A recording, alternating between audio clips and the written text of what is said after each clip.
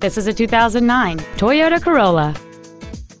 It features a 1.8 liter four cylinder engine and a four speed automatic transmission.